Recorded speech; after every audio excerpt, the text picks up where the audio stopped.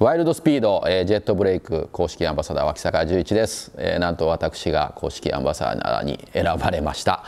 えー、ワイルドスピードといえば僕の中でですねやっぱスープラなんですね。あの僕のレーシングドライバー人生の中でスープラっていうのも特別な車でしてですねそのワイルドスピードの公式アンバサダーをやらせていただけるっていうのはもう僕にとってもどれだけ嬉しいことかということなんでございます。ましてやですねあの私レースの世界で生きてますからレーシングチームっていうのがあってですねレーシングドライバーばっかりこういうヒューマンドライバーとしてですねレーシングドライバーがフューチャーされますけれどもやっぱりレーシングドライバー1人だと走れないですね、えそのもとですねたくさんのスタッフ、えいわばファミリーですねファミリーたちがドライバーを走らせるためにたくさんのですね信頼関係を持ってチームを運営するわけですけれども、えその辺がですね今回のワイルドスピードジェットブレイクのですねファミリーの絆とものすごくリンクしているので、え今回このタイミングでですねアンバサダーに選んでいただいたということで僕としてもものすごく嬉しく思います、えー、ワイルドスピードをですねもうスープラという車とともにですねこうもう本当に今のスープラのですねこの人気をですね、